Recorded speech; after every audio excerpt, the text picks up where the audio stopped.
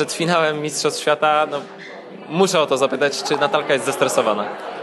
No jest, troszeczkę jest, ale wydaje mi się, że dziwne by było, gdyby nie była. To jest jednak finał Mistrzostw Świata, to są same najlepsze zawodniczki na świecie, więc e, jest troszeczkę zestresowana, ale z tego, co sobie przypominam przed najlepszymi biegami, też mówiła mi, że jest lekki stresik, także e, chyba, chyba będzie dobrze.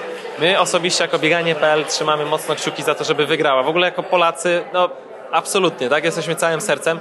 Ile procent szans na wygraną? Bo trzeba też jakby patrzeć na inne zawodniczki, na statystyki.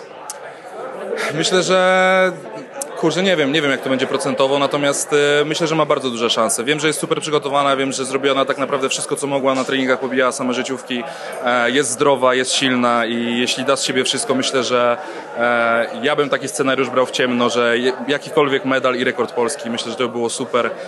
Natomiast też myślę, że jeśli będzie rekord polski, to ten medal będzie nie tylko brązowy. I tego się trzymamy. Nie tylko brązowy przy rekordzie Polski. Oby tak było.